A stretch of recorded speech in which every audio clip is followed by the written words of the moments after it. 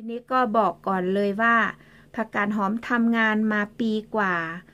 ผักกาดหอมไม่เคยลาเจ็บลาป่วยลาหยุดเลย ก็มีหนึ่งวันที่สำคัญมาก หยุดหนึ่งวัน คุณแลมโบ้พาไปทาต่อบัตรประชาชนค่ะ แล้วก็มาอีกครึ่งวันวันที่มีปัญหานี่แหละ เมื่อไม่นานมานี้คือวันที่ผักกาดหอมเดินทางมาจากบ้านคุณแลมโบ้ที่นั่งรถไฟ แล้วก็ ลงคลิปให้ทุกท่านได้ติดตามชมนั่นแหละผักกาดหอมรีบมาเข้างาน แต่ว่านายบอกว่าไม่ต้องเข้างาน ค่ะ เดี๋ยวจะเล่าไปเป็นตอนๆนนะคะ ขอเริ่มเลยค่ะ คุณเลมโบ้ก็พิมพ์ข้อความแบบที่พูดเลยค่ะ อ่า แม่งอะไรประมาณนั้นน่ะฮะก็นี่ตำหนิคุณเลมโบ้นะตำหนิ แล้วเขาก็ร้องไห้เขาขอโทษเขาบอกเขาจะไม่พูดไม่ไม่อะไรอีกแล้วค่ะตอนนี้ก็ให้นิ่งๆอยู่ค่ะ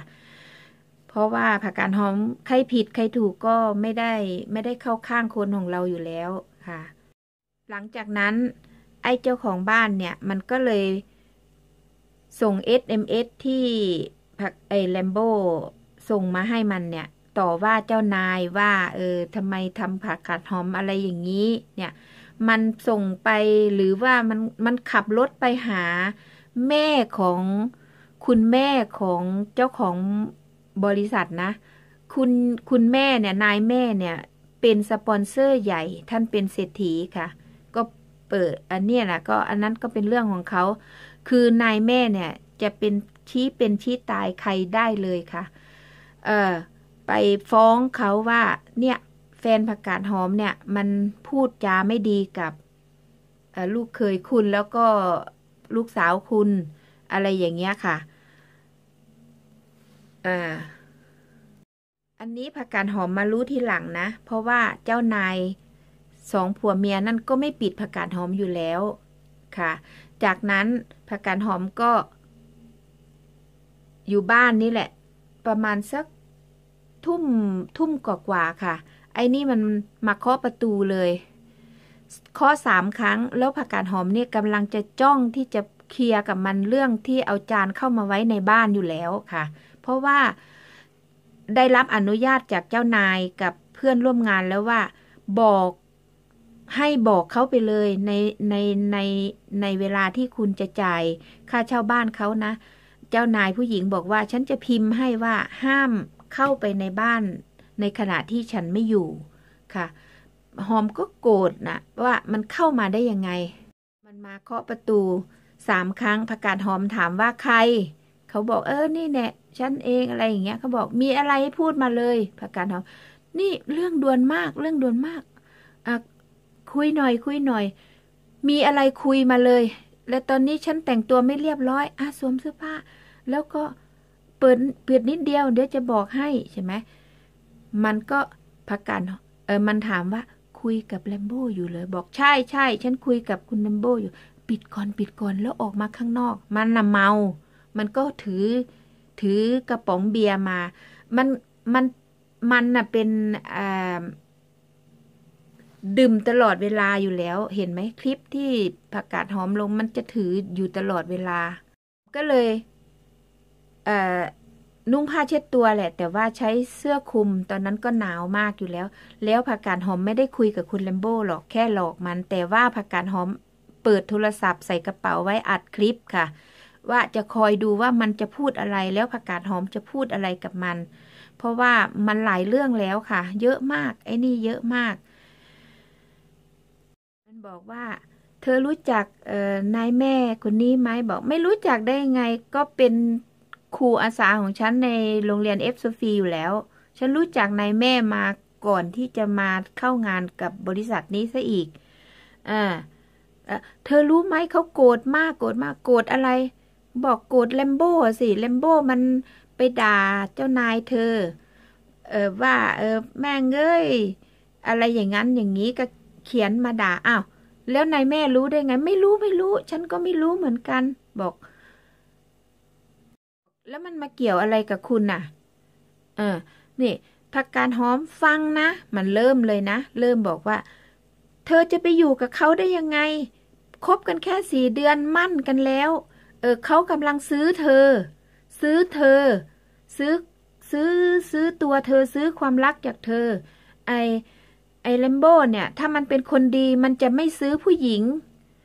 ถามว่ามันซื้อตรงไหนอะ่ะ ก็บอกก็ให้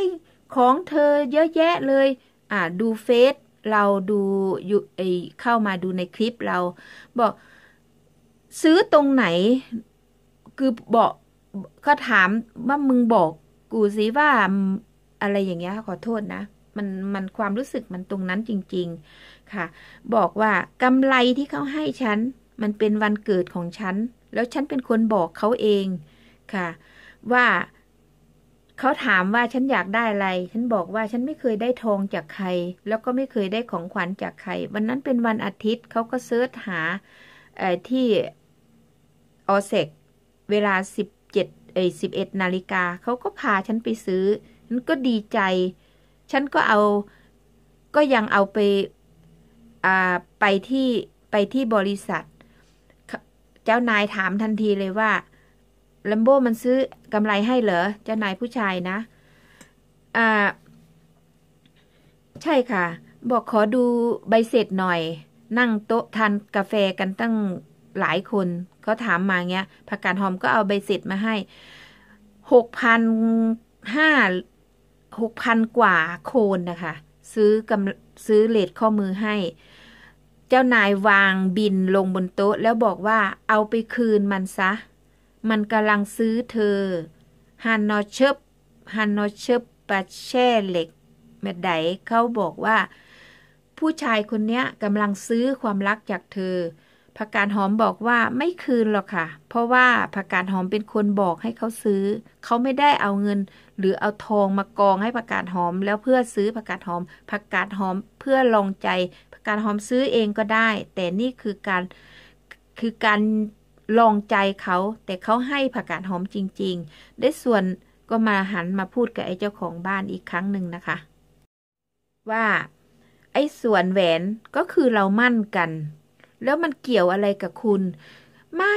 เธอรู้ไหมว่า เออนายแม่ก็รู้จากชีวิตเธอ เจ้านายก็รู้จักชีวิตเธอเออผมก็รู้จักชีวิตของคุณ คุณมีปัญหา พวกเราก็พยายามจะช่วยคุณกับคนเดิม จนมันไม่กล้ามาที่นี่อีกอแล้วเธอจะไปอยู่กับคนเนี้ย ก็ก็เรารักกันน่ะ แล้วฉันก็เอ่ออะไรหยอแช่นามาแช่เหล็กมันห้อนมก็คือว่า ฉัน ฉันสัมผัสได้แล้วว่าเรารักกันคือทุกอย่างมันไปด้วยกันได้ แล้วมันมันก็คือนี่มันชีวิตของฉัน ตอนนี้คือผักกาดหอมก็เริ่มกระบะแตกกับไอ้นี่แล้วมันต้องเคลียร์แล้วค่ะ ก็เลยใช้คำพูดว่าหุบปากเดี๋ยวนี้เลยเหมือนกับ start you up หรือว่าไอ้ salute ตานูว่า ฉันเป็นแค่คนเช่าบ้าน คุณรู้รู้ตัวไว้ด้วย ฉันเป็นคนแค่คนเช่าบ้าน ฉันไม่ใช่เมียคุณ ฉันไม่ใช่ เอ่อกิ๊กอะไรของคุณแล้วฉันก็ไม่ใช่สัตว์ เลี้ยงที่มีเจ้าของ ฉันสามารถที่จะตัดสินใจอะไรได้ นี่คือฉันห้าสิบกว่าแล้วนะ แล้วอีกอย่างหนึ่งคือประมาณว่าเสือกอะไรอะ่ะ เออมายุ่งเกี่ยวเอาอย่างนี้ ถ้ามันมีปัญหามาก ฉันขอ ฉันขอออกจากที่นี่ แต่สามเดือนล่วงหน้าฉันไม่จ่ายนะ ไปฟ้องเอา เพราะมันไม่กล้าอยู่แล้ว เพราะว่าผักกาดหอมจ่ายมันเป็นเงินดำมันไม่ได้มีสลิปให้ ก็คือจริง ๆ แล้วไม่อยากจะย้ายจากที่นี่หรอก ก็แค่มันมันวุ่นวายมากมันก็แรงค่ะหอมอัดคลิปทุกอย่างค่ะ ในการทะเลาะกันแล้วผักกาดหอมก็ส่งให้คุณเลมโบอ่านเขาโกรธมากค่ะ แล้วเรื่องมันไม่จบแค่นั้นค่ะ เพราะว่าผักกาดหอมบอกว่า คุณนี่มันมีตัวตนเยอะมาก แล้วก็วุ่นวายกับฉันมาก แล้วเคาะประตู ดึกดึกเดินเดินอย่างนี้ แล้วก็ฉันเปิดม่านตรงไหน เธอก็วนอยู่ตรงนั้น เออแล้วไอ้เรื่องที่เอาจานเข้าไปในบ้าน คิดได้ยังไง เอาจานเข้าไปอยู่ไปในบ้าน ฉันเช่า ฉันมีสิทธิ์ ฉันไม่ได้คิดด้วยตัวคนเดียวด้วย เจ้านายฉันเป็นคนบอกเลย เจ้านายฝรั่งฉันบอกเลยว่า คุณทำผิด คุณทำไม่ถูก อ้าว ก็ถามแล้ว ถามแล้วฉันไม่ได้ตอบ ฉันตอบตรงไหน เอามาดูซิ SMS เพราะว่าเน็ตไม่มี ฉันไม่ได้ตอบ บอกถ้าคุณทำอย่างนี้ ฉันไม่อยู่นะ ตรงนี้ แล้วก็ห้ามมาวุ่นวายกับฉันอีกอ่าฉันขอ ฉันขอย้ายออก เสร็จแล้วมันก็นั่ง นั่งลงเพื่อที่จะดู SMS ไอส่องกับไฟ แล้วนั่งลงแล้วก็บอกอ่าเหมือนกับใจเย็นๆ ใจเย็นๆ แล้วก็หัวเราะมา บอกว่าโทษได้ลุงโทษได้ลุง เออ แล้วก็หัวเราะมา แต่ผักกาดหอมไม่หัวเราะกับมันแล้ว เพราะว่าโกรธมาก บอกว่า เธอลองคิดดูนะ ฉันเช่าที่นี่นะ ฉันยังไม่มีสิทธิ์ที่จะจอดเรือเลย ไอ้คนเดิมมันเอาเรือมา แค่ไม่ได้บอกคุณก่อนล่วงหน้าเท่านั้น ไอ้คนนั้นมันก็อยากจะได้เงินจากฉันเพื่อถ่ายเรือคืน มันก็จะ เอาเรือมาเร็วที่สุด ฉันไม่ได้มีโอกาสได้บอกคุณก่อน คุณก็ไล่เขาตะเพิดไป ถามว่าเรือฉันยังจอดที่นี่ไม่ได้เลย ฉันอดทนขนาดไหน ก็บอก ไหนคุณคุณบอกว่าฉันเนี่ยดีที่สุด เมียคุณเป็นคนชื่นชมฉันที่สุด ลูกคุณรักฉัน แล้วทำไมคุณมาทำกับฉันแบบนี้เออมาวุ่นวายทำไม ฉันจะรักใครหรืออะไรมันไม่เกี่ยวกับคุณเลย ฉันจะย้ายออกเมื่อไหร่ ฉันยินดีที่จะจ่ายคุณล่วงหน้าสามเดือน ถ้าไม่มีผิดใจกัน การหอมก็เดินเข้าบ้านค่ะ จากนั้นตั้งนับตั้งแต่วันนั้นกับวันนี้พักการหอมไม่มองหน้ามันอีกเลย แล้วก็มันก็ไม่ได้มาเห่าหอนอยู่แถวนี้ค่ะ มันร้ายแรงกว่านนั้นค่ะ เพราะว่าพอเช้าวันรุ่งขึ้นผักกาดหอมไปทำงาน โอ้โห เจ้านายผู้ชายยืนเท้ากระเอวรอเลยค่ะ เขาบอกว่า นี่แฟนเธอโทรมาตอนฉันอยู่ในยิมยุมนะ แล้วก็มันส่ง SMS ไปด่าฉันกับภรรยาฉันให้ไอเจ้าของบ้านเธอฟัง มันเจ้าของบ้านก็เอาไปบอกนายแม่นายแม่ก็สั่งมาว่า ห้าม ห้ามแฟนเธอมาเหยียบที่นี่อีก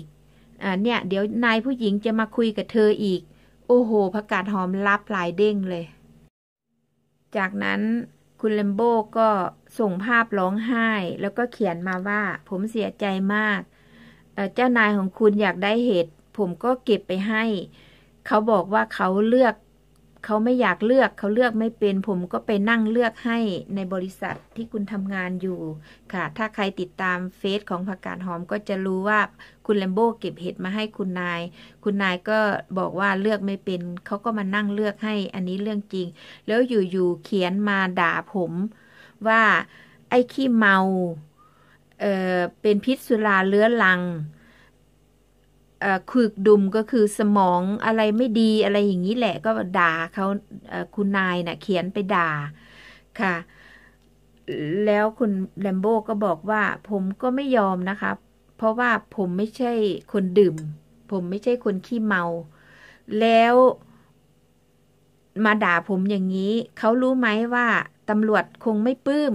ถ้าผมเอาเรื่องนี้ไปคุยกับตำรวจ ถ้าผมเป็นคนขี้เมาแล้วผมมีบ้านมีรถ ทำงานเงินเดือนเดือนละสามเดือนละสองหมื่นสามนะ แล้วก็มีที่ทางขขนาดนี้นะ่ะ เออ ผมจะทำได้ยังไงคำว่าแอนกอลิสหรือว่าเป็นติดพิษสุราเรื้อรังจะต้องนอน แล้วก็ดื่มอย่างเดียวคำนี้เขาจะใช้กับคนอื่นไม่ได้ นอกจากหมอซึ่งเป็นด็อกเตอร์หรือเอเป็นด็อกตูก็คือเป็น คุณหมอเท่านั้น คนธรรมดาจะไปชี้ จะไปเพ่กจะไปชี้คนอื่นว่าคุณเป็นโรคนั้นโรคนี้ไม่ได้ผมโทรบอกคุณแม่แล้วว่า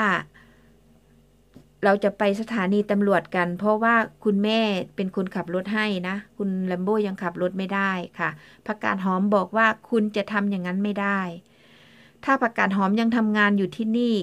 ขอร้องนะ ทุกอย่างให้มันจบค่ะ ทุกอย่างให้มันจบอยู่นิ่งๆ เดี๋ยวฉันจะเเคลียร์ทุกอย่างเองนะ คุณอยู่นิ่งๆ ก็ปลอบใจเขาค่ะ ตอนนี้เขาเขานิ่งนะ แล้วก็ทำห้องนวดทำห้องครัวไว้รอทำห้องเย็บพุงเย็บผ้าค่ะ เดี๋ยวเราก็จะได้ไปพบไปพบกันในคริสต์มาสเนี่ยค่ะอะคุณผู้หญิงก็เขียนไปด่าแล้วก็บอกว่าห้ามไป เที่ยวกับพวกเรานะ แล้วห้ามมาเหยียบที่นี่อีก ก็เขียนอย่างนี้เลยค่ะ แล้วคุณผู้หญิงก็มายืนรับรับรับกับผักกาดหอมเลยว่าฉันด่าแฟนของเธอไปอย่างนี้อย่างนี้ ห้ามไปที่บาบาอีกห้ามมาที่นี่อีกเออแม่ฉันโกรธมากอะไรอย่างเงี้ยค่ะ ก็บอกอะก็แล้วแต่จัดการเธอค่ะ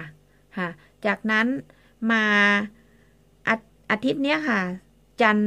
อังคารพุธ พฤหัสเนี่ยค่ะผักกาดหอมคิดว่าผักกาดหอมจะต้องออหยุดงานทำงานครึ่งเวลาห้าสิบเปอร์เซ็นอย่างที่นายบอก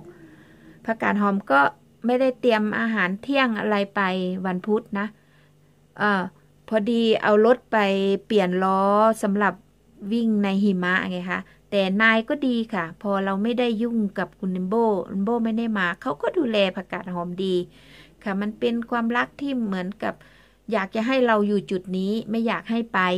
ค่ะ ไอไอเจ้าของบ้านนี่ก็คือพอคุณเลมโบบอกจะให้ไป มันก็ขาดรายได้ เพราะเราไม่จะไม่เช่าตรงนี้ ค่ะ มันมีเรื่องหึงหวงเข้ามาด้วย ไอไอนี่มันโรคจิต เดี๋ยวจะลงคลิปแล้วก็เล่าให้ฟังหลาย ๆ เรื่องที่รับมันไม่ได้เลยจริง ๆ ค่ะ จากนั้นก็ก็เป็นที่รู้กันว่าคุณเลมโบมาที่ นั่นไม่ได้ แล้วก็ที่นี่มาได้ เพราะผักกาดหอมมีสิทธิ์ เดี๋ยวก็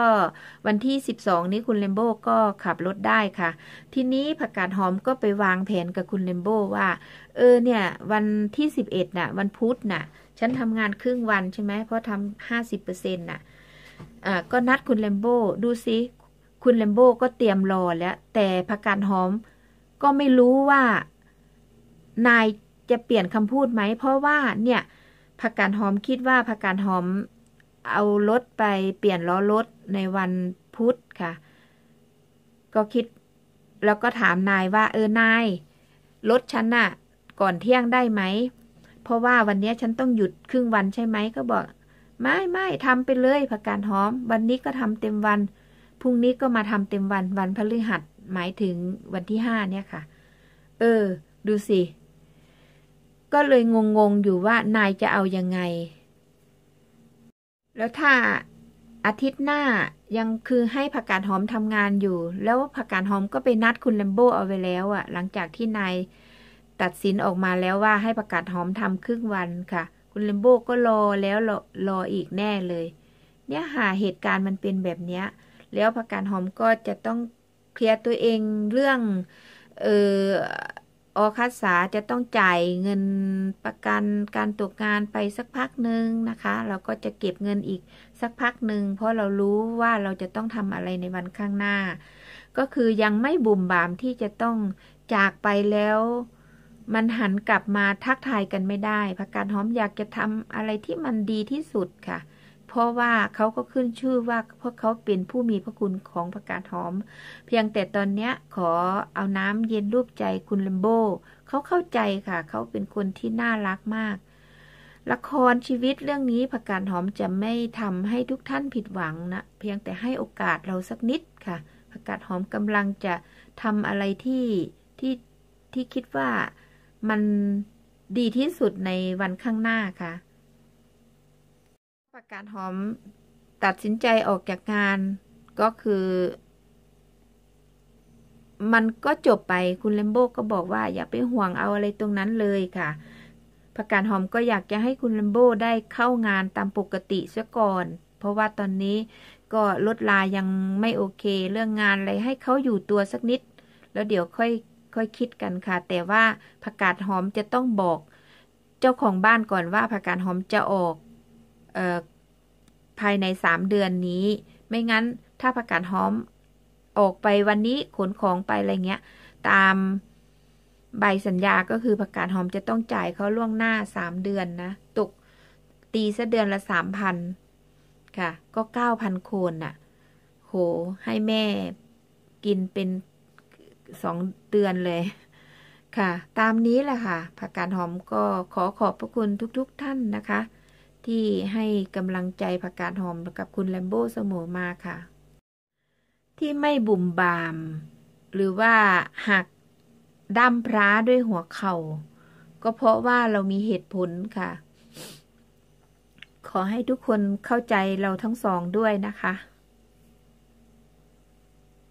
หันมาหาไอ้เจ้าของบ้านเนี่ยค่ะ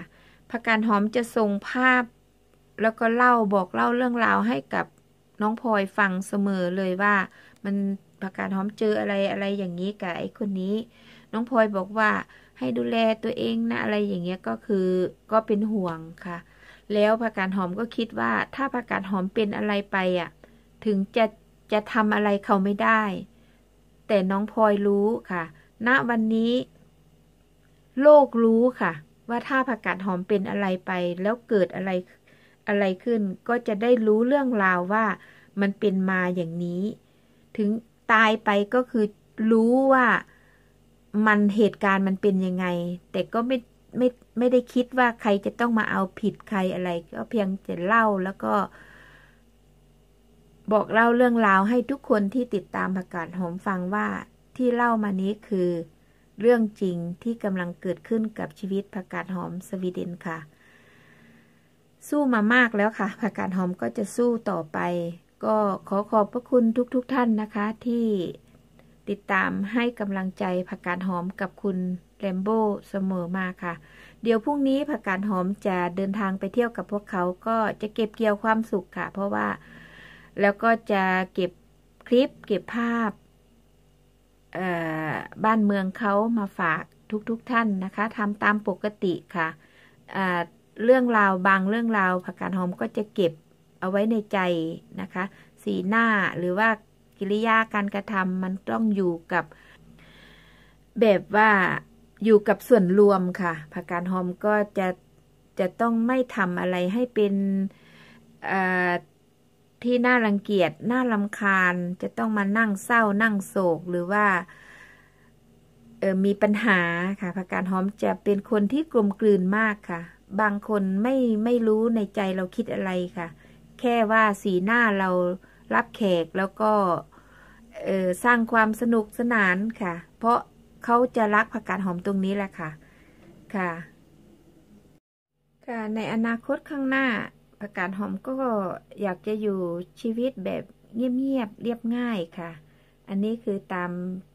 แผนที่เราเตรียมกันไว้นะคะ ก็รอสัก พักหนึ่งค่ะ เพราะว่ามันจะต้องเกี่ยวกับเรื่องกระดาษสำคัญอะไรหลาย ๆ อย่างค่ะ ผักกาดหอมก็ไม่อยากจะทำให้ใครต้องผิดหวังต้องรักษาน้ำใจกันทั้งเจ้านายแล้วก็ทั้งแฟน ยกเว้นไอ้เจ้าของบ้านนี้ค่ะ